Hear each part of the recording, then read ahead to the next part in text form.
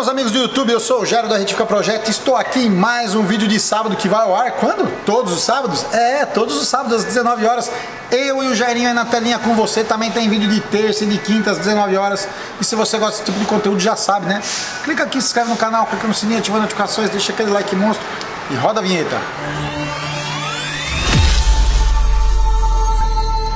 Bom, é o seguinte pessoal, aqui nós temos dois cabeçotes que infelizmente eles poderiam estar rodando no carro dos nossos clientes ou dos nossos brasileiros queridos aí, mas por uma infelicidade os dois cabeçotes pararam por problemas diferentes.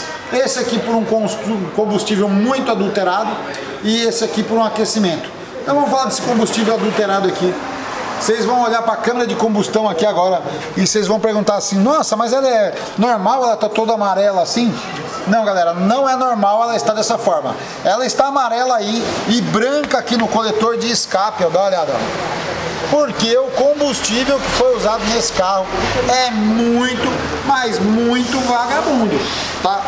Infelizmente aqui, é, o que tem dentro da câmera de combustível?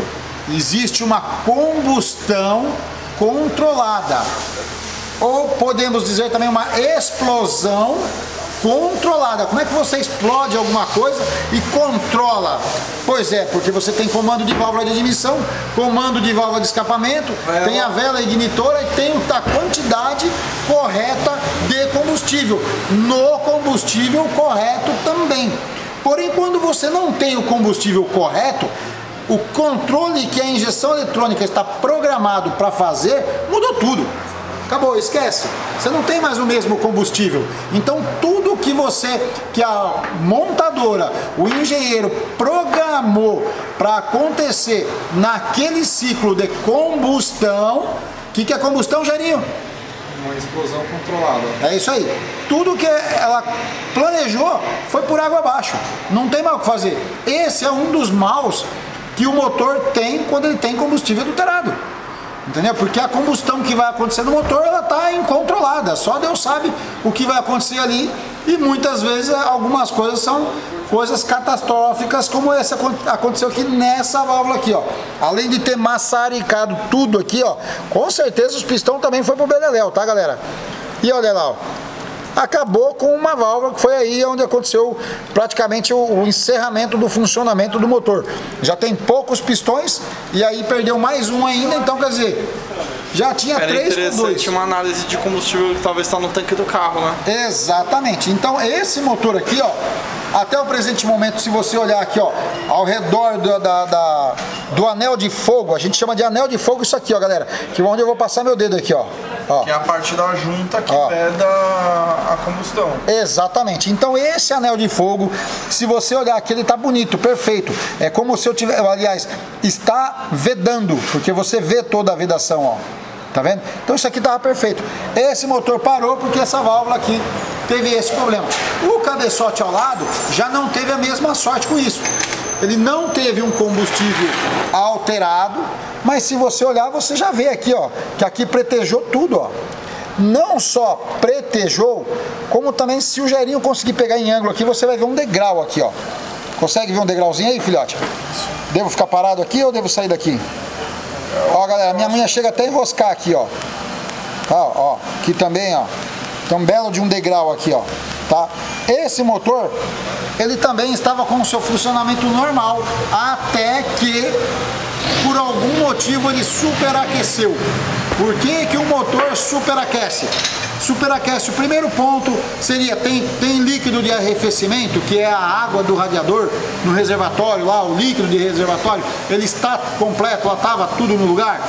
Não sei. A ventoinha, o eletroventilador, veio a funcionar, o relé do eletroventilador estava perfeito, o fusível dele, as mangueiras de água do, que faz o sistema, o radiador. A, o radiador, a válvula termostática, tudo isso engloba no ciclo de arrefecimento do motor.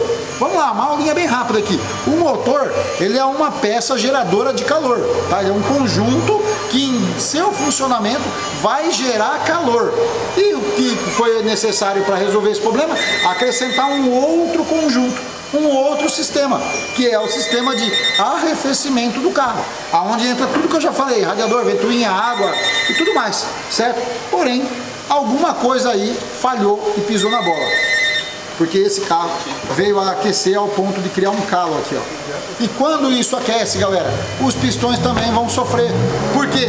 O motor chegou numa febre lá de de 150 graus, o pistão não foi projetado para chegar nessa temperatura ao redor dele. Ele foi projetado para chegar numa temperatura superior na cabeça dele, no topo. Aqui ó, fogo aqui na cabeça, não calor na lateral. E aí o cara acabou perdendo o motor por esse motivo. Ele vai ter que desmontar o resto, como esse cara aqui também vai ter que desmontar o resto. Bom, Sobre esses dois motores nós vamos agora mandar... Só para salientar, Ford K1.0 3 cilindro e Onix Turbo. Exatamente, Onix 1.0 Turbo. Esses dois cabeçotes a gente vai dar entrada neles agora, eles vão para dentro. E eu vou deixar vocês numa time-lapse da hora de um cabeçote 2JZ 6 cilindros, olha só, dois 3 cilindros e um 6 cilindros. Dois, é, dois 3 cilindros e um 6 cilindros é, que ele chegou para nós a semana passada, nós não tivemos tempo para gravar e o cliente também tinha muita urgência, mas a gente conseguiu catar todo o processo de retífica dele. Então, bora deixar vocês de castigo.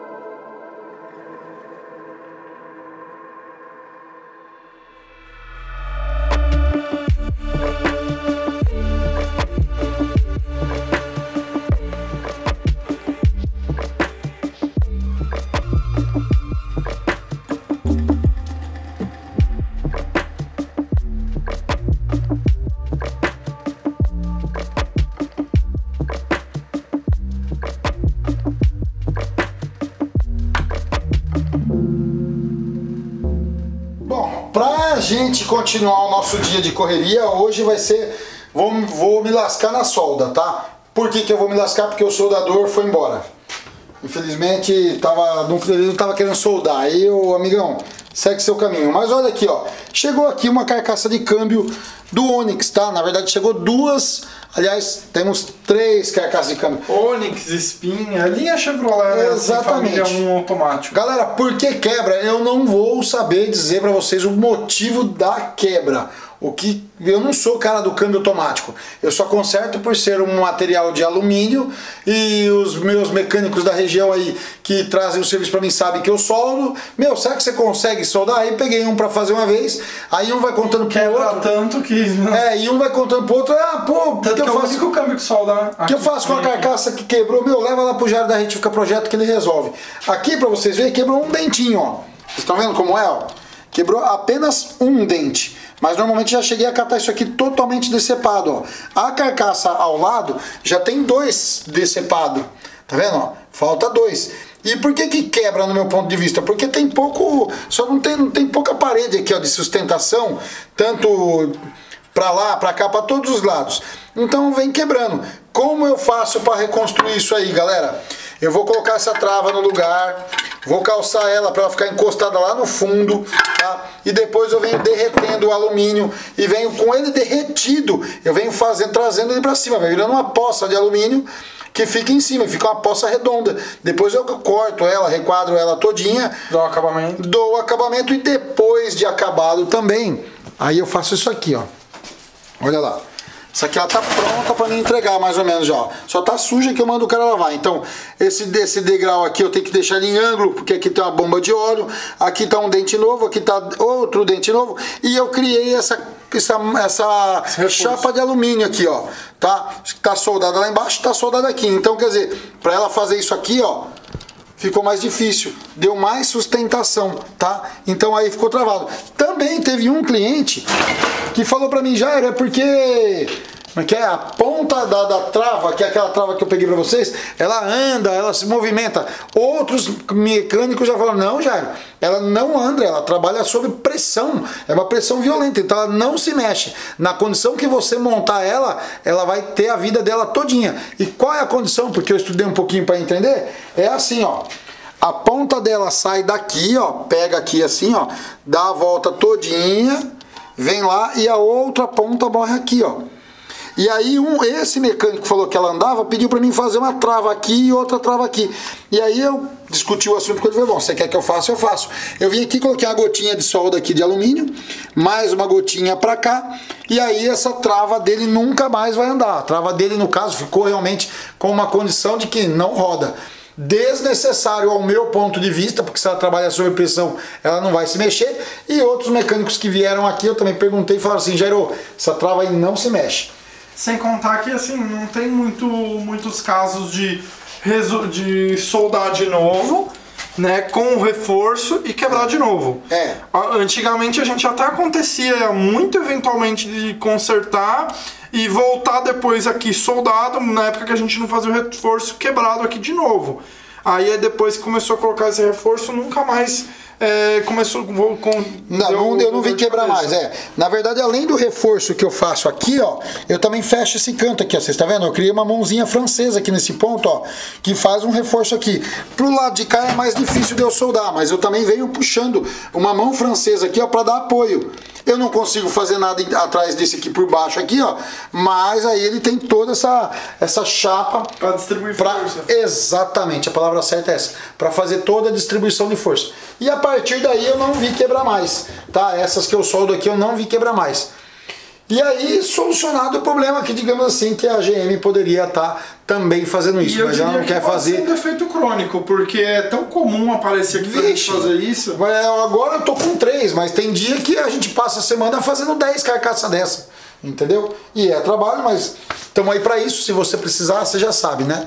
Eu espero que você tenha gostado desse vídeo. Se você gostou, já sabe, clica aqui, se inscreve no canal, clica no sininho, ativa as notificações, deixa aquele like monstro, assista nosso último vídeo. Se gostou, manda pros amigos. Se não gostou, manda pros donos de Onix, Spin e esses carros tudo da Chevrolet. Que se quebrar o câmbio dele, manda ele vir em mim que eu tô facinho. Valeu, tchau!